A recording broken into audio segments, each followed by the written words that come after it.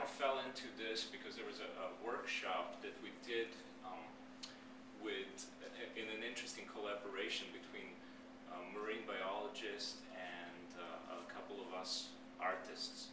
So uh, we started going to these barrier islands in Louisiana, and I was immediately really stricken by this landscape um, for few reasons. There's a, a specifically, this is a um, kind of area, if, um, just, to, just to kind of give you an idea, this is southwest of New Orleans, about hour and a half, couple of hours.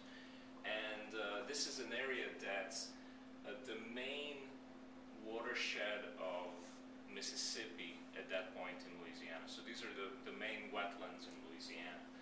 And it turns out that uh, because several reasons, geological and, and um, historical reasons and uh, human influences, this area is really kind of weird in that way that it presents um, one of the largest wetlands in, in the United States, and it also represent, represents a um, an area that's disappearing at the almost like the fastest rate, and the rate is um, um, at about a football field size of a wetlands. It's disappearing every half an hour.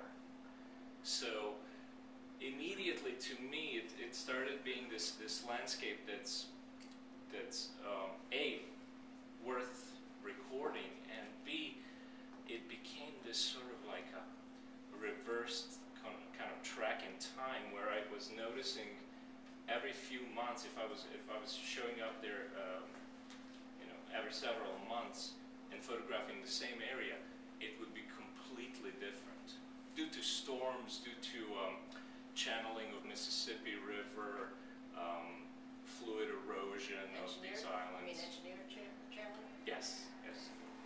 Um, since um, 1930s, Mississippi has been channeled in one specific uh, direction.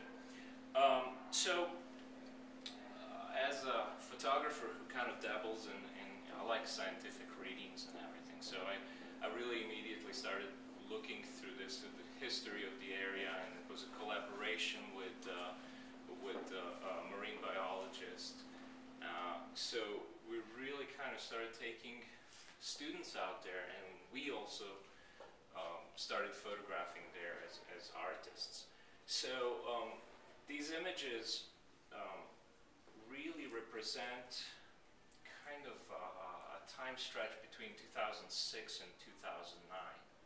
Most, well, I would, I would say about a third of these images are from 2006, and then um, two thirds are from, from last year.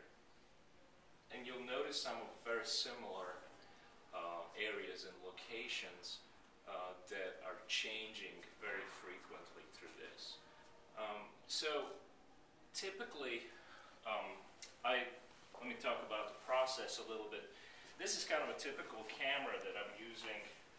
This is a brand new one. This is a pinhole camera that I just constructed and, and kind of made.